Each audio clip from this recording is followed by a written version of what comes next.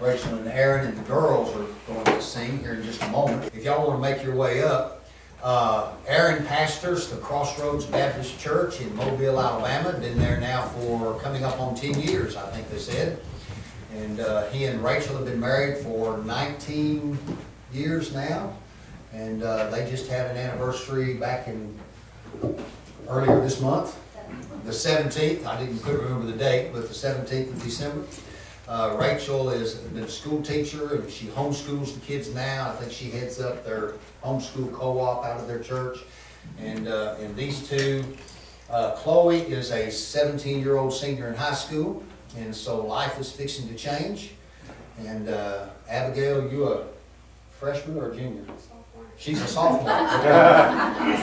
Freshman or junior? I wouldn't miss that one right in the middle, wouldn't I?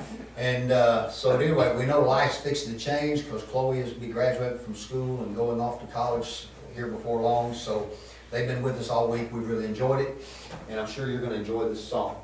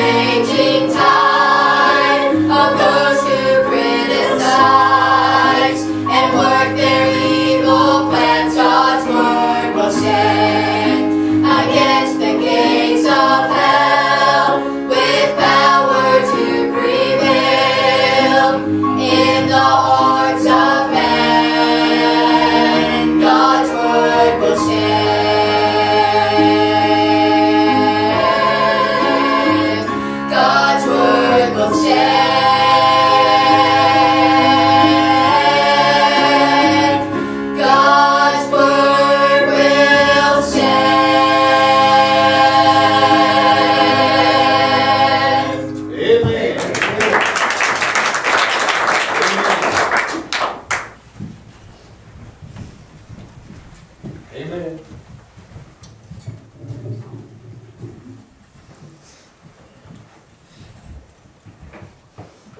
My grandkids won't appreciate that as much as somebody like me can appreciate that. My grandkids have Christian parents and they have Christian grandparents. And uh, one side of the great-grandparents. And so, you know, as I look at them, my caution would be, you can take that for granted. And, and I would like to be one who encourages you, don't ever take for granted.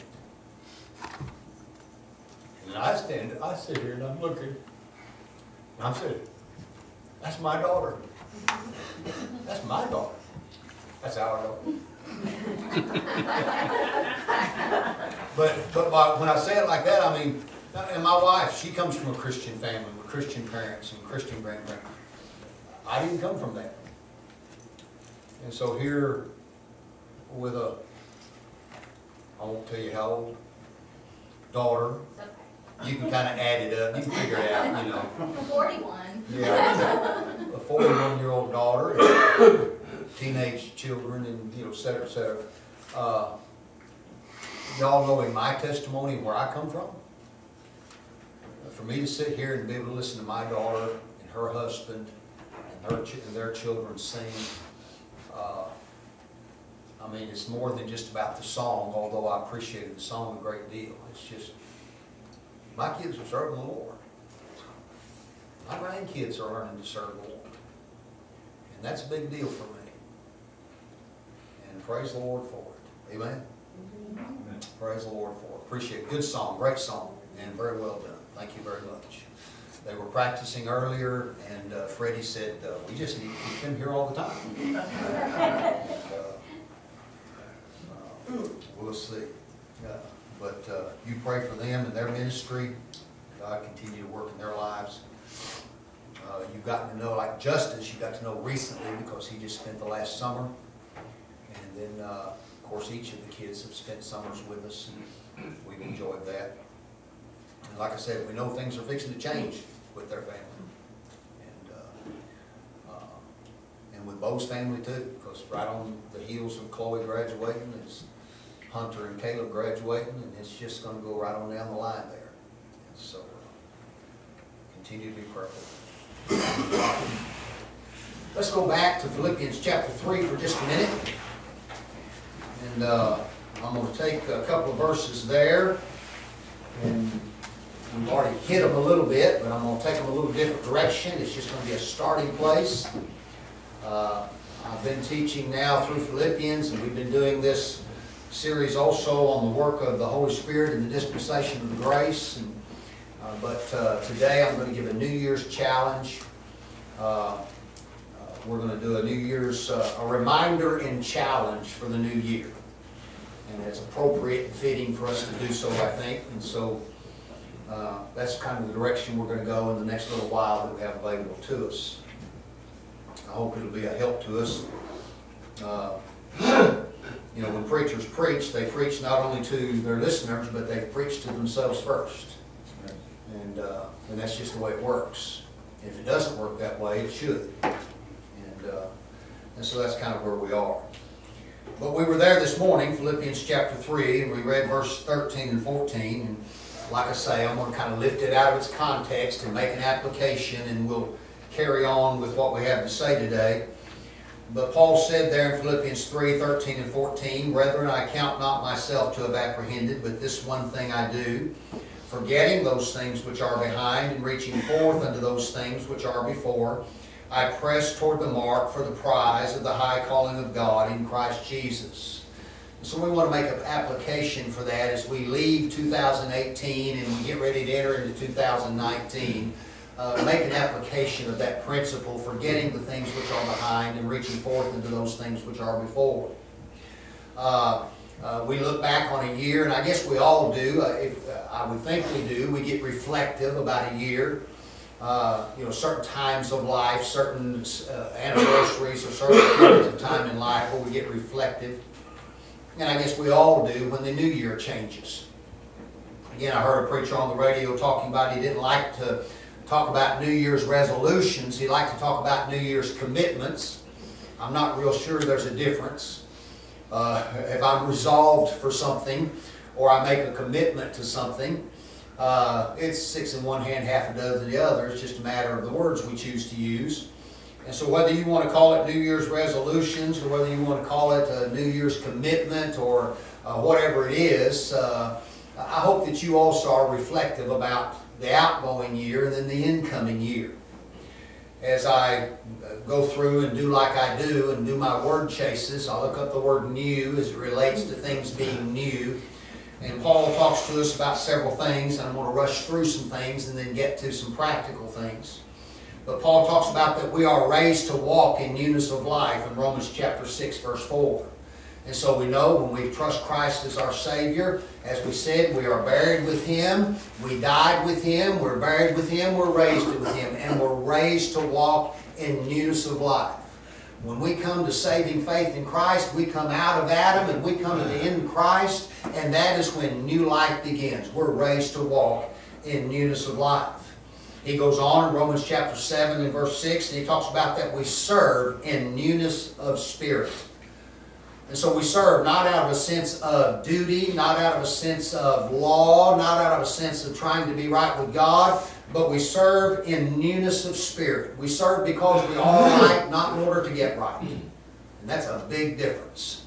That's the difference between law and grace. We, we serve because we get to, not because we have to. Have you ever been doing things on a Saturday night and the words come out of your mouth we can't be too late. We've got to get up early because we've got to go to church on Sunday morning. I've got to go. No, we get to go. Don't have to go. You can stay home. We get to go.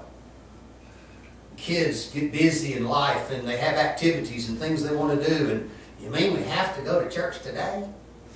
No, you get to go to church today sun's shining brightly and we haven't ridden for a month and we say, you know, I'd a whole lot rather go ride my horse today. Do I have to go to church? No, you don't have to. But you get to. Whatever it is that drag, you know, it would entice you a right. We serve in newness of spirit and not the oldness of the letter. We serve because we want to, and not because we have to. Paul goes on and tells us in 1 Corinthians 5, verse 7, we're to purge out the old leaven and be a new lump. And so we're constantly examining our life and, and purging out the old that we might be a new lump. He tells us that we are new creatures in Christ. In 2 Corinthians 5.17 and Galatians 6.15, that we are a new creature. And that's an important concept for us to understand. Uh, it's not a revival of an old creature. It's, it's old. It's, it's in Adam we died, but in Christ we're made alive, and in Christ we are a new creature in Christ. It's not a reformed old man. It's a completely new man. We're new creatures in Christ. And that's why Paul then talks about putting on the new man. Ephesians chapter 4, verse 24, Colossians 3.10, he talks about putting on the new man. So all those are new things that, we're that we I, I want to remind us about. We walk in newness of life. We serve in newness of spirit. We are to purge out the old lump and be a new lump. We are new creatures in Christ, and we are to put on the new man. So those are the reminders. And we could wrap it up right there and, and you know, kind of elaborate on those and, and probably have done fine and, and all of us be encouraged. But I want to take the thing and take it a step farther and, and just kind of give some practical things as we talk about the new year. Uh, give Freddie a title. I try to give him a title for the messages now so he can use them on the YouTube channel. And so to this morning, it's the, the reminders and challenges of this new and coming year. So now we talk about the challenges. The very first thing that I want to talk about for just a moment, and that's the question, are you saved? Do you know beyond a shadow of a doubt that there was a time and a place when you trusted Christ as your own personal Savior? I'm not talking about was there a time that you decided to start going to church? I'm not talking about was there a time you decided to start living better. I'm not talking about was there a time that you decided to put away some old things and start picking up some new things and, you know, making changes in your life. All those things are fine and good, are they not? But none of those things get us to heaven. You can add whatever new thing, you can, you can change your life, you can quit doing the don'ts and start doing the do's and all those things and still die and go to hell without Christ. And so the first question, the most important question, and, and you know, I look around the room and, and, and I've heard testimonies and so on, but but I don't want to make an assumption on anyone's part. you've heard me tell the story many times. My wife and I were married several years, had both of our children, and had, were in the ministry. And she realized one evening, uh, after a friend of ours had preached a message in the ministries, she realized that she had done a lot of things religiously, but she had never trusted Christ as her Savior. And she trusted Christ when she realized that. Our daughter was 17, 18 years old. 17, or you're in senior in high school, senior in high school. And again, you know, in the ministry, working with us there in the youth rescue ministries. And she came out of her loft bedroom and came down to our room one night and said, Mom and Dad, I have never been saved. I need to be saved. And though she was a good girl and lived clean and did the things she was supposed to do and was busy in the work of the ministry that we were doing there, she, she realized, I've never trusted Christ. I've done a lot of religious things, but I've never trusted Christ. And a lot of would give the similar kind of testimonies. And so when I know in my own family, with my own wife and my own daughter, that I have no idea who in this room may or may not have just done religious things and never trusted Christ. And so when we start thinking about leaving the old and walking into the new, I can't think of any more wonderful thing for an individual to do is to know for sure that they are saved by the grace of God. Brother Sam, how does that happen? You don't give invitations here. I've never walked an aisle here. I've never had an opportunity to do that. We don't do that here. But what do we do? We tell you that we're all sinners that can't save ourselves. And so you examine your heart. And you say, yep, I realize I'm a sinner and I can't save myself. And then we tell you that God commendeth His love toward us and that while we're yet sinners, Christ died on that cross for our sins. Romans 4 tells us he was delivered for our offenses. Delivered to the cross to shed his blood for our sins. He took our sins upon himself. He took your sins upon himself. Christ died for your sins. Past, present, and future. Christ died for your sins. And he was buried, left those sins in hell and rose up that third day victorious over death, hell, and the grave. And by that resurrection, when we come to trust what He's accomplished, then we are justified by the work of Christ. So right there where you are, anytime, any place, even as I'm talking right now, you acknowledge in your heart and mind, I'm a sinner. I can't save myself. And I've trusted religion, I've trusted doing better, and I've trusted straightening up, and I've trusted going to church, and I've trusted this, that, and the other, but I've never trusted Christ. Today, I'm trusting Jesus Christ. Dear God, I know the only way I'm ever going to get to heaven is because of what Jesus did, and I'm trusting Him to take me to heaven. Folks, that's how you get saved. Plain and simple. Doesn't require anything else. You mean I don't have to run the aisle? I don't have to break down and cry? I don't have to bawl and squall? I don't have to list and name all of my sins? No, all you got to do, hey, I'm. Can't save myself. And I'm going to trust Christ. Because the Word of God tells me plainly that my salvation is in the Word of Christ and not in anything that I do. Folks, you can be saved today. So that's the first thing. Are you saved? Do you know for sure that you've trusted Christ as your Savior? Well, you know, when I was a child, I went to youth camp and I did this or, or you know, whatever, and you go back to all these things. Yeah, but have you ever trusted Christ? Well, I know I prayed a prayer. Yeah, but have you ever trusted Christ? Well, I know that after I had this religious experience that I started acting better and doing better, at least, you know, some better, but have you ever trusted Christ? See, there's the question, right? How many times have I said, and I guess I probably say it several times a month, uh, if I don't end up saying it every Sunday, I know I'm going to heaven because, and you fill in the blank. I know I'm going, it's not I hope I'm going to heaven, it's not I'm trying to go to heaven. I know I'm going to heaven because, fill in the blank. And if you fill in that blank with anything other than, I know I'm going to heaven because I'm trusting what Jesus did to get me there. If you fill in that blank with anything else, you could very well and are most likely lost. I know I'm going to heaven, not because of what I've done, ever could do, but I know I'm going to heaven because of what Jesus did for me, and I'm trusting Him and Him alone to take me to heaven. What a wonderful way to end one year and enter into a new. To trust Christ. So that's the first question. Are you saved? Do you know beyond a shadow of a doubt? And if you've trusted Christ alone as your personal Savior, then you can and should know because of the testimony of Scripture that you are saved and sealed and on your way to heaven. Because it's not about what you do, it's about what He did. And you're trusting Him. Because if your flesh is anything like my flesh, if I was trusting my flesh, I would have no hope. Right? And so I'm not trusting my flesh, I'm trusting what He did.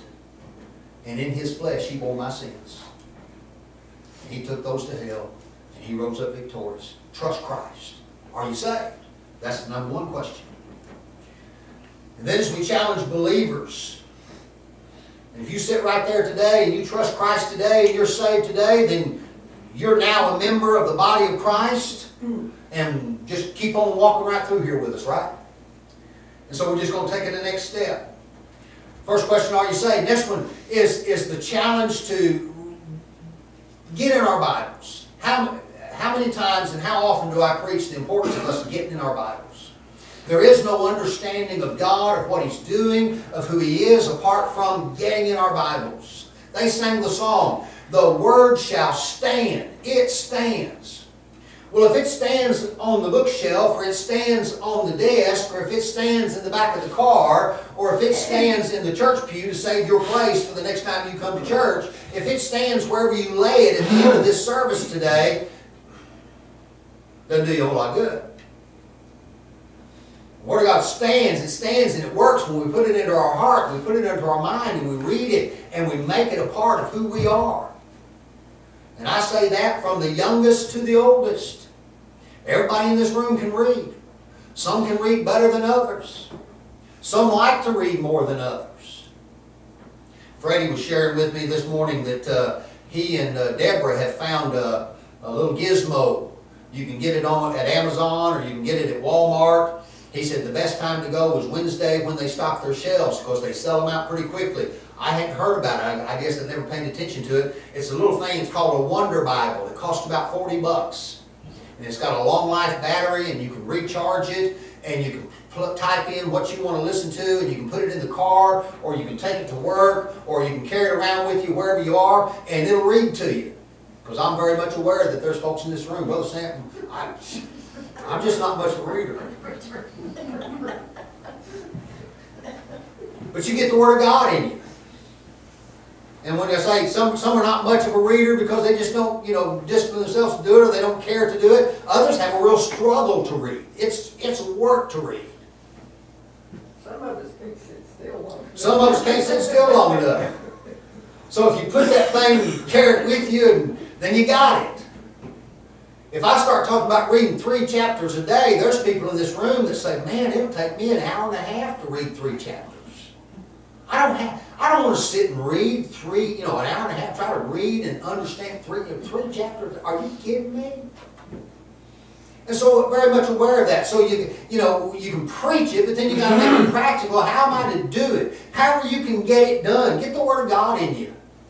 Read it and get the Word of God in you. I can't emphasize that enough. There is no understanding of what God's doing apart from His Word. We have to read it. We have to know what it says. And then we have to rightly divide it. Freddie was saying, said they'll listen to something and they'll listen along, and, and sometimes, you know, you hear something different than what you read something. And that's So you, you can do both. You can read and you can listen. And he said they'll, they'll be listening to something and they'll stop and they'll back it up and they'll read it and they'll read it. They'll listen to it again. Well, I had never heard that, never thought about it that way. They'll have a discussion. Man, what a wonderful thing. They do that while they're working together on the projects that they work. What a wonderful thing to do. And listen, us older folks can do it, and the kids can do it. Ella can do it.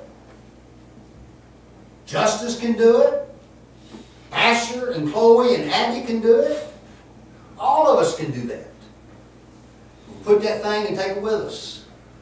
How much time do we spend riding down the road in our vehicles, back and forth to work and all the places we do? Find a way to get the Word of God in you. Just find a way. Well, same, I, you know, uh, and we make excuses. Find a way.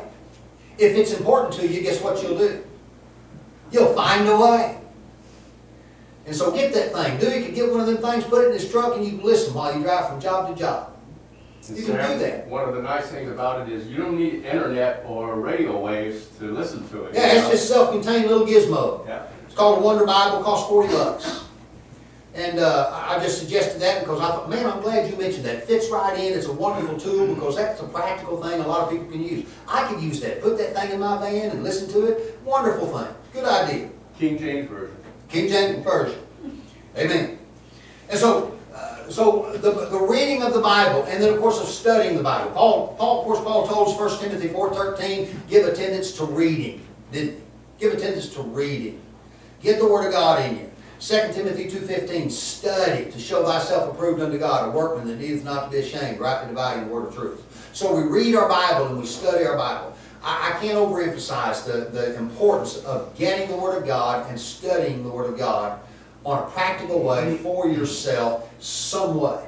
Now, some are going to be much more diggers than others. Some are going to be more casual than others. Again, you know, to whatever point we've already attained, wherever you are, determine in 2019 I'm going to get more of the Word of God in me than I got in me in 2018.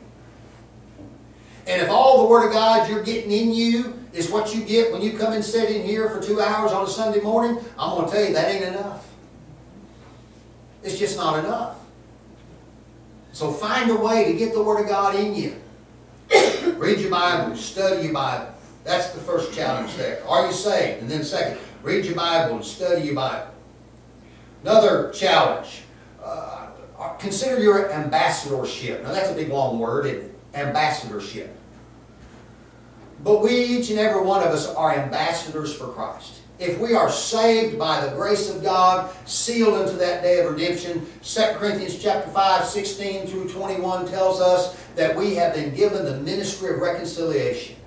We are citizens of our heavenly home, and we are here as God's representative on earth with the gospel of the grace of God committed to us, the ministry of reconciliation. We're to be about telling others that God the Father hath made God the Son to be sin for us who knew no sin, that we might be made the righteousness of God in Him. That's not just the preacher's job. That's everybody's job. We are ambassadors. We're either good ambassadors or we're bad ambassadors, but we're all ambassadors. We're all God's representatives. If we are saved, we are the representatives of the Lord Jesus Christ here on this earth. And we are to represent Him well. We are to be equipped and we are to understand and we are to have a basic understanding for sure of the gospel and how to find that gospel in the Word of God and how to share that gospel with others. Be a good ambassador. And ambassadorship, first and foremost and primarily, has to do with the ministry of reconciliation, which is getting out the gospel. Tell others about Jesus. From the youngest of us to the oldest of us, we can find a way to talk to others about Jesus. Look for opportunities. Find open doors. Seek open doors. Always be sensitive about. I'm an ambassador for Christ. I want to be. I want to. I want to know. For, I want to have the assurance that I'm saved and on my way to heaven. I want to spend more time in my Bible this year and get more of the Word of God in me this year. I want to study my Bible more this year, and I want to be a more faithful ambassador, sharing the gospel of the grace of God, being about the ministry of reconciliation in the new coming year. Be busy about that. And it's not about.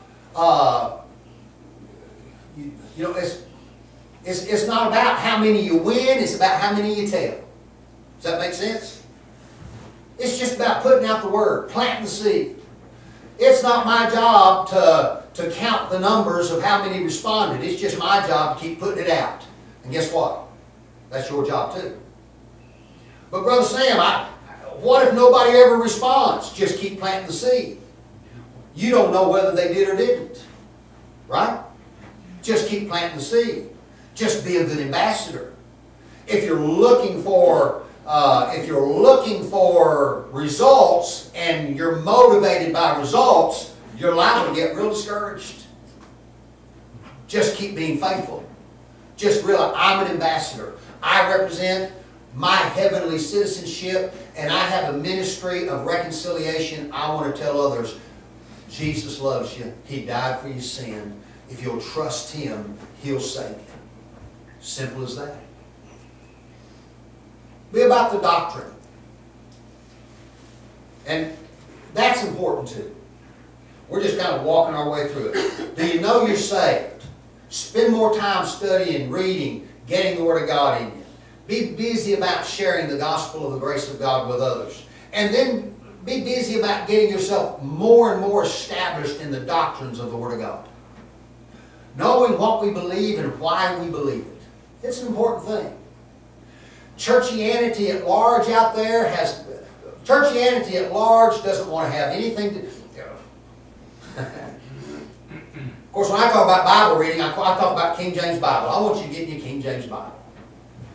Uh, uh, when I talk about the gospel, I'm talking about the gospel of the grace of God, Paul's gospel that saves today. And then that kind of brings me to doctrine. People out there in churchianity today, you want to know how to build a big, big church? Don't just just talk about the Word of God, but don't get real specific. It doesn't matter which one you use because they all. Yeah, it does matter which one you use. They're different, and things that are different aren't the same. But if you want to build a big church, don't make a big deal about the Bible. Which Bible is the Word of God? And if you want to build a big church, don't make a big deal out of what gospel. Just talk about Jesus and you know, if they believe in Jesus and everybody who talks about Jesus is on their way to heaven. Folks, there's a whole lot of people that talk about Jesus. There's a whole lot of people sitting in church this morning going to down bust hell wide open from a church pew. So we're not talking about just some general kind of thing. We're talking about specific things. That's why I talk about the doctrine. Know what you believe and why you believe it. Get in that book, study that book, know what that book says. I'm going to turn over to 2 Timothy chapter 4. Most of it I'm just rushing through, but I am going to go over to 2 Timothy 4 and read this passage as we talk about this for just a moment. 2 Timothy 4. Of course, Paul's last letter, he's writing to Timothy. 2 Timothy chapter 4, beginning at verse 1. I charge thee therefore before God and the Lord Jesus Christ, who shall judge the quick and the dead at his appearing in his kingdom, preach the word, be instant in season, out of season, reprove, rebuke, exhort with all longsuffering and doctrine. For the time will come when they will not endure sound doctrine, but after their own lust shall they heap to themselves teachers having itching ears, and they shall turn away their ears from the truth, and shall be turned unto fables. Now, folks, that's the modern church. That's the average church on the average street corner. Folks don't want to know about doctrine. Even folks who come and participate and gather with us here, they'll come and I'll, until I teach a doctrine that they don't like, and then they're gone. If I would keep very general and very specific, uh, we could keep a whole lot more people. Right? But when we start teaching doctrine, then it starts weeding folks out. But folks, doctrine is important. I could go on and on about doctrine. Paul had a great deal to say about doctrine. We need to know what we believe and why we believe it. And That's that's why we and Sam, that's all a doctrine is. is Know what you believe. knowing what you believe and why you believe it. That's why The it's so important. That's why it's so important. Uh, what, what do you believe about heaven? What do you believe about hell? What do you believe about the gospel? What do you believe about the what do you know about the earthly ministry of Christ and the ascended ministry of Christ? What do you know about rightly dividing the word of truth? I mean, all these things. Very simple stuff, some of it. Well, the eternal security of a believer. Do you think that's probably an important doctrine? To know for sure that you're going to heaven when you die, not because of what you did, but because of what Jesus did? I mean, that's a pretty important doctrine. The inspiration and preservation of Scripture, that's a pretty important doctrine. Again, the gospel, not the kingdom gospel preached in Matthew, Mark, Luke, and John, but the gospel of the grace of God preached by Paul. That's a pretty important doctrine. And knowing that those are two, two different gospels, that's pretty important doctrine. We can go right on down the line. Know the doctrine. So we're talking about Bible reading, knowing you're saved, studying and reading your Bible, being a faithful ambassador, understanding, learning doctrine. Brother Sam, I have to admit, I'm really ignorant about my Bible, but I want to I want to know more about my Bible. I want to understand doctrine.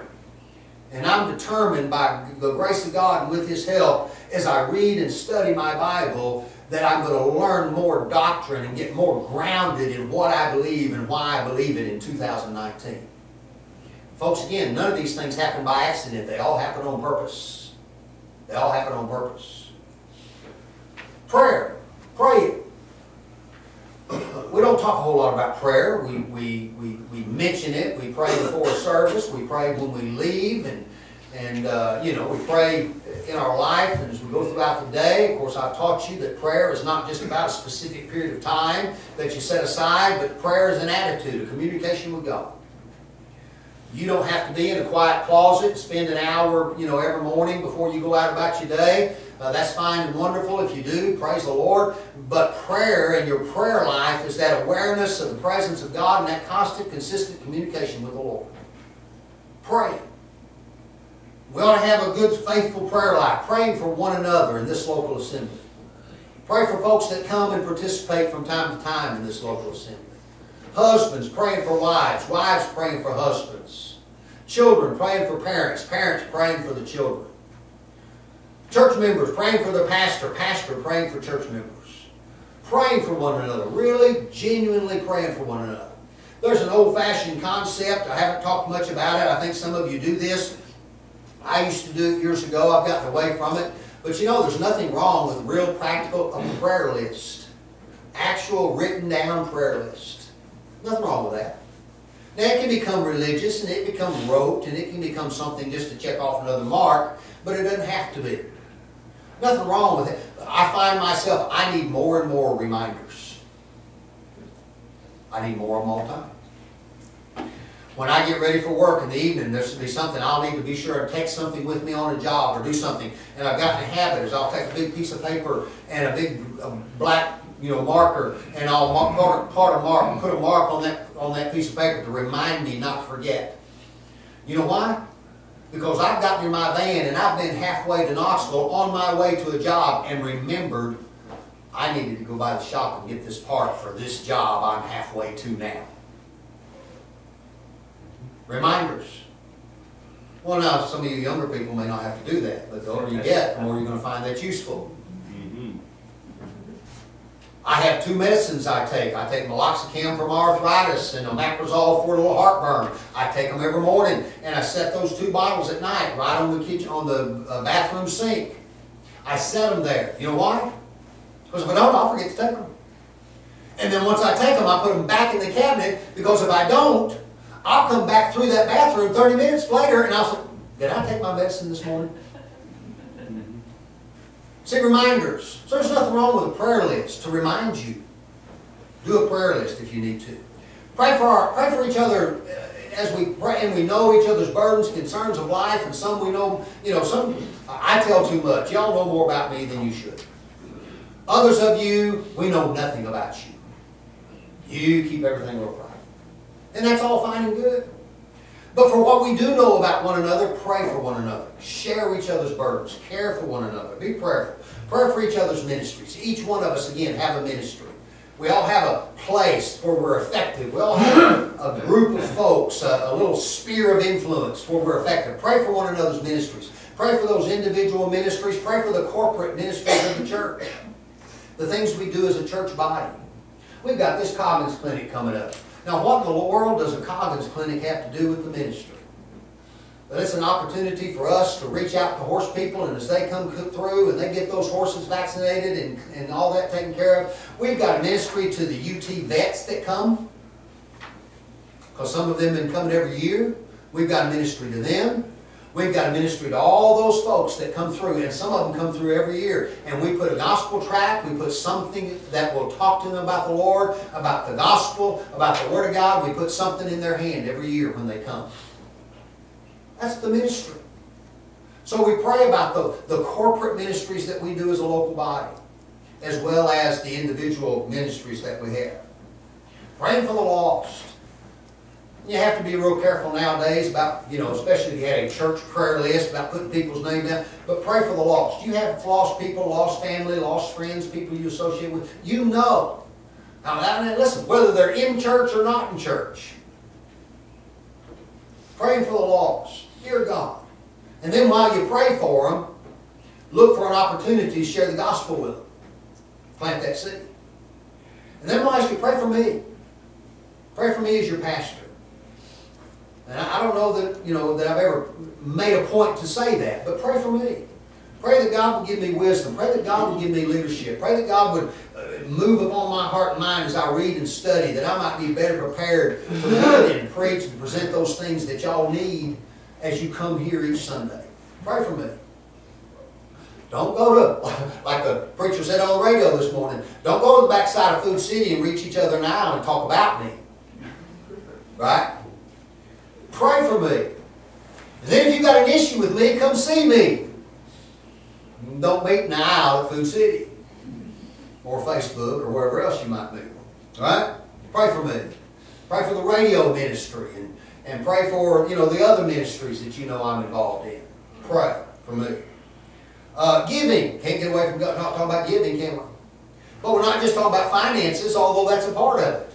But we know that God says He loves a cheerful giver. Again, we don't give out of necessity because we have to, but we give out of a desire to support the ministry. And when I talk about giving, I'm not just talking about finances. I'm talking about, you know, those three T's that the preachers like to use when they talk about giving. I'm talking about your time. I'm talking about your talents. I'm talking about your treasures. Be willing to give. I think we talked about this, you know, a Sunday or two ago. If you can sing, come sing a song. If you can play an instrument, come play an instrument. Give. That's what you can do. Brother Sam, I'll never get behind this pulpit and, and teach a lesson. That's fine. But do what you do where you do it. Right? And be busy about that. If you can play an instrument or sing a song, then make a point. You know, I do know how to sing. I can carry a tune in a bucket. And, uh, you know, it's not too bad. And, uh, you know, I mean, when I sing, the cats don't howl, the dogs don't howl, and, you know, I, I can do this. I, have not had anybody, you know, run me out of church house because they heard me singing or anything. You know, if you can sing a song, come sing a song. But your time and your talents and your treasure, all three of those things. And I'll not labor on that. I think you understand what I'm saying. Give it, Lord, Lord listen, Lord, as I go into 2019, uh, I want to take those things that I have within me and just who I am, and I want to use those things to bring honor and glory to the Lord. I want to give those things to the ministry and give those things to the work of God. I want you to use me, Lord, in the place that you can use me. And as we've said so many times, each one of us is prepared and equipped to work and to minister in a place that others of us will never be able to work in ministry. I could call names, but there's circles that you could go to that you'll have an influence in that I'd never have an influence in, and vice versa. And I say the same th same thing goes with kids. It's one thing when adults talk to kids, but it's another thing when kids talk to kids. Huh? It's another thing when kids talk to kids. I mean, preachers are supposed to preach, and mamas and daddies are supposed to preach, and they're supposed to, you know, but but when, when that other 12-year-old is talking to the other 12-year-old about the Lord and about the gospel and about what they know about the Word of God, do you think that might have an impact and influence far greater than you ever realized? Sure it does. Of course, when you're a little snot, that has an influence too. Right? And that goes for the adults too. You can't be a little snot, you know, and then try to talk to somebody about Jesus, expecting them to listen to you. Right? Oh me, Brother Sam, quit meddling and go back to preaching. Uh, uh, the local body, I'm, I'm, I'm heading to the end, I promise. The local body. We know that, that each individual who is saved is, is placed into the body of Christ. Amen? And we always say you don't go to church, just you are the church. This is not the house of God. This is where the house of God meets. We are the temple of God. He dwells and lives within us. We are the church. And so as we function in our ministries, we're about the, what we're doing, we're functioning as members of the body of Christ. But there is that local assembly where we gather together, and each of us are members one of another. Uh, 1 Corinthians 12, go down through there. And 1 Corinthians 12 talks about us being members one of another. And here's what I want to say about this so that you understand. Every individual in this local assembly is a part of that of this assembly, and you're needed and you're wanted, and you have a ministry and a place here, even if that ministry or place is just that you're there. Amen? Uh, uh, Dewey asked me about Norm. I'm missing seeing Norm sit back there this morning. And I'm mindful that Norm's hurting in the hospital. Norm comes in, he may not say three words, he sits there and he gets up and leaves, but he's a part of this body and I miss him when he's not here. I suspect you do too. We come in, we sit down, we look around, and, and it's not, I wonder where they are this morning. That's, that's not what I'm talking about. I'm talking about a burden and a concern and a love for one another. And we come together as a local assembly because we realize we are part of a local body of believers. And we come together for fellowship and for encouragement, for strength, and for edification from the Word of God. That we might be better equipped and better prepared to go out and function as ambassadors for Christ in the world we live in. And then the last thing, and it all is summed up in this last word as we give the challenge. And it's the, it's, it's, it's the word love. Do all of it be done in love. I'm going to take you to Romans chapter 12, I think, back to the left there a little bit, Romans chapter 12. I've got a bunch of verses, I'm going to do them all, but I am going to go back to Romans chapter 12. I think it's where I'm going. I'm trying to be real conscious of my time. Lots of places we could go, like I said, I've got a big long list, I've got more list of verses for love. You know, I do a, when I'm studying, I'll type in the word in my Bible app, and I'll, it'll come up so many, how many references have that particular word. And, uh, uh, I think, uh, when I typed in the word love this morning, uh, I got more references to love than any of the other words I looked up. I think it's used uh, 202 times in the New Testament alone. Uh, and that, that's not even considering the word charity, just the word itself, love. But in Romans 12, 9 and 10, let love be without dissimulation. That's one of those big, long, $10 words. It's a hiding under a false pretense. In other words, it's the idea of, of hypocrisy, right? Let love be without dissimulation. Abhor that which is evil. Cleave to that which is good. Be kindly affection one to another, to another with brotherly love and honor, preferring one another. And all that comes back to, I mean, we can put everything else under that umbrella, couldn't we? In honor, preferring one another. Let love be without hypocrisy, without dissimulation, without hiding under a false appearance. Uh, turn over, look at the next page, chapter 13. At verses 8, 9, and 10. Chapter 13 of Romans, 8, 9, and 10. Owe no man anything but to love one another. For he that loveth another hath fulfilled the law. For this, thou shalt not commit adultery, thou shalt not kill, thou shalt not steal, thou shalt not bear false witness, thou shalt not covet. And if there be any other commandment, it is briefly comprehended in this saying, namely, thou shalt love thy neighbor as thyself. Love worketh no ill to his neighbor, therefore love is the fulfilling of the law. Like I said, I've got several other references, I won't take time to go that far. But when I come back and I consider, and when we come back and consider first and foremost God's love for us, and then because of God's love for us, that should create within us a love for others, a love for the lost, that they might come to faith in Christ, a love for other believers as members of the body of Christ. That's when I go back and I start asking those questions again. So I take that umbrella of love, and because of the love of Christ for me and for the lost and for others, that I want to go into 2019 determined. I want to, I want to know more about my Bible. I want to read my Bible more. I want to study my Bible more. I want to go into 2019 because I love others. I, I want to be a better ambassador in 2019. I want to be about that ministry of reconciliation to a greater degree than I was last year. Because of that love for others, I know it's important. People are people are are starving. You know, church folks. I'm, not even talking about lost folks.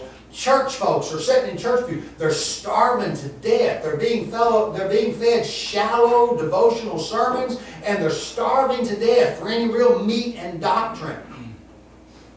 Well, what greater way to love someone else who you know is starving to death than to try to put something out there to feed them? Now listen, you don't force feed, right? You can't force feed it, just but you got to be putting it out there. Why? Because you love them. Well, you can't put it out there if you don't have it. Get the doctrine in you. Pray because of love. I want to pray. I want to pray for my wife, for my husband, for, for the members of our local assembly. I want to pray for the lost. I want to pray for our ministries. I want to pray for our pastor. I want to pray for the church. All that, the love. Because of love, I want, I want to be, I want to support the ministry with my time, talent, and treasure more this year than I did last year. I want to be appreciative and, and, and, and a member and function within the local body to a greater degree in 2019 that I did in 2018. All that comes together. So there's our challenge as we finish up this year and enter into the new year. Stop and consider those things. Now again, somebody can come up and say, well, Brother Sam, you didn't mention this. Well, if I'd mentioned that, we'd have been here another 10, 15 minutes. Brother Sam, you didn't mention that. Okay, well, there's another 10, 15 minutes. And the next thing you know, we got a series. This is the last Sunday in the year, and this is what we did. Now, let me say this right before we dismiss. I, I post uh, daily Bible readings on Facebook, and, and uh, if you're challenged, I, I challenge folks to read their Bible through in a year. Uh, always challenge folks to do that. It's just good to do that. Uh, if you use the Wonder Bible, that make that real easy. I'm going to be working on a list that I can put in your hand that you can use as a guide.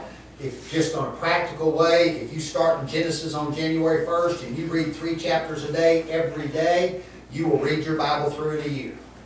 And so that's a simple way to do that. You don't have to have a list, just three chapters a day. Uh, but I am working on a list, and, and there will be a particular order that will have that, and I'll make that available hopefully by next Sunday.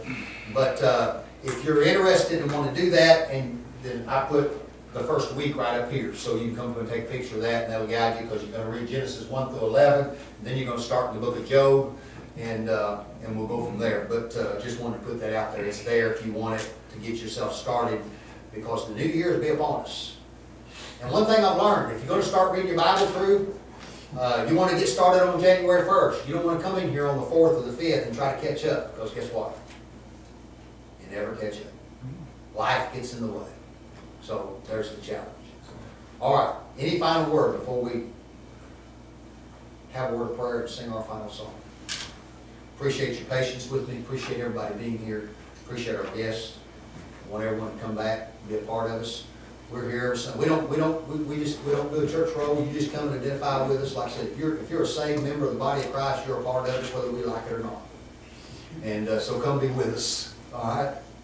And, uh, and the more often you come to be with us, the more we expect to see. All right, very good. All right, Brother Aaron, would you dismiss us in a word prayer?